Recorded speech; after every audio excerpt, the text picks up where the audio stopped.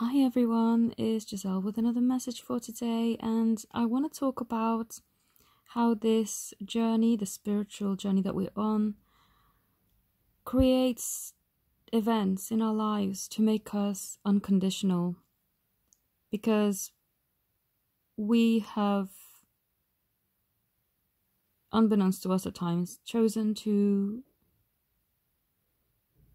be on a special mission to really help this world with the purity of unconditional love and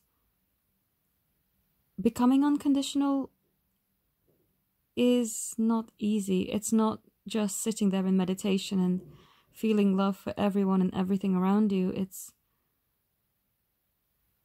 I think it's a Rumi quote. Um, I don't know if I'll be I'll probably be paraphrasing it, but it's something along the lines of break your heart until it opens. And a lot of people that go through heartbreak, you know, they, they have a choice. They can go one of two ways. They can either become bitter, resentful, close themselves off, and be like, you know what, forget this. I'm never going to let anyone love me or hurt me or whatever. Give them the opportunity to, to make me vulnerable and hurt me ever again. Or you can allow your heart to break, but then become stronger through it.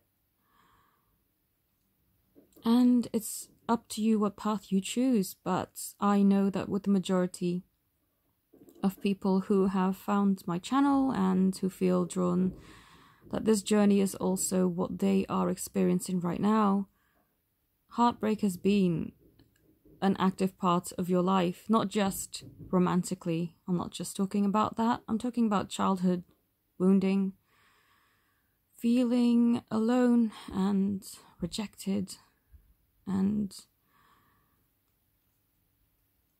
yeah, like nobody really gets you, understands you, cares for you. But that's all an illusion, and you need to put that aside you need to look at the bigger picture. Elevate yourself from your situation and look at what is really going on. You are here to bring unconditional love. It's easy to be unconditional when things are going smoothly. You know? If everything goes your way and you have no problems at all, yeah, life is great. It's a party. It's awesome. There's no challenge. Well, of course, I love everybody when there's no challenge. but when things become really dark and painful, that's when you are faced with a choice. Are you going to become unconditional or are you going to become closed off and bitter and no longer accessible, no longer allowing yourself to be loved, and no longer giving love. Becoming unconditional is not an easy process. It's, it's like a caterpillar going through transformation. Yes, it's hard to imagine what that must feel like to go into a cocoon and if you've ever seen a cocoon, it looks like it's dead. You know, you, you probably think, what could possibly come from this? A cocoon. It's it looks dead. I remember when I was younger, I was playing up in the in the loft, and I I saw a cocoon dangling from the window, and I thought, wow, it's probably dead, right? That there can't be anything in that. But then one day it starts to tear open and a butterfly emerges. But the the process of becoming that butterfly must be awfully painful. It's like going through a little death to be reborn into something much more beautiful than you were before. And that's the same thing with becoming unconditional. You break your heart until it opens. You allow yourself to experience vulnerability. And whatever will be, will be. That's being unconditional. You don't go into wanting to become unconditional with, oh, but if they don't love me back, then forget about it. No, it's not that. It's loving despite whatever happens. If they love you back, awesome. If they don't love you back, great. Unconditional is unconditional. There is no attachment. And it can feel like dying, but living at the same time. It's living without regret. It's living without fear. It's like being a moth that gets itself burnt because the flame is just too beautiful.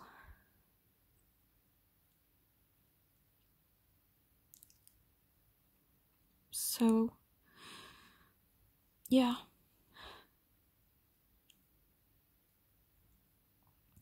I just wanted to share that. I understand that it's not easy on this journey, and if you ever feel alone, you're not alone.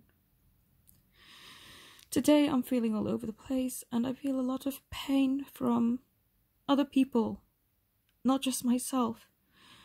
And that kind of goes with with a job, doesn't it? Oh. Did I ever choose to become an empath? Good lord, it's hard work. But you know what? At the same time, it's rewarding because it's so rewarding to receive your amazing stories of growth and transformation. To know that I've helped people who were on the brink of, of just walking away and giving up on their dreams. And for that, I am grateful. But just know that we are all on this journey to break our hearts until it opens. And eventually, when it opens, it will stay open. And do you know what the best thing is about breaking your heart until it opens? Is you live without regret. because in the past, I've regretted a lot of things by not acting on things or being too afraid to speak my truth, being afraid to be rejected. But as soon as you can put that aside and think, you know what? I would rather experience anything but the feeling of what if. And as soon as you can do that, it's it's liberating. So, I just wanted to share that with you today. I know I sound awfully sad. It's a collective feeling of heaviness, but I feel that with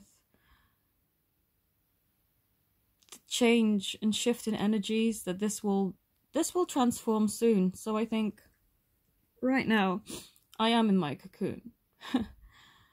and even though I may be dying a little bit, I'm also living, and I'll be bursting out soon. And so will you. Whoever's listening to this, whoever feels lonely and sad and tired and just drained from being a spiritual person and being on this journey to enlightenment and to true unconditional love, you will be in a place where true love finally lives and will be unconditional and will not let you down. And also, what I wanted to tell you is that in order to write a new chapter, we must stop rewriting. Well, no, we must stop reading the old chapter. That was then, this is now if we can step into our new chapters without looking back, we will be able to make the most of our new chapters. We will no longer be bound by old beliefs, by old hurts, by old anxieties. We will be embracing the new. And I've seen it happen to me, I've seen it happen to other people that, you know, that are around me, whether you're a client or a friend or a family member. I've seen so much transformation around that it's undeniable. There's definitely changes and shifts happening. And it's amazing to see. But with every change comes a little bit of, of death, in a sense, because you are leaving your old self, you are shedding your old skin. And that hurts a little bit, you know? But it's okay because you come out the other side, you are even more beautiful, even more loving, and one step closer to being unconditional.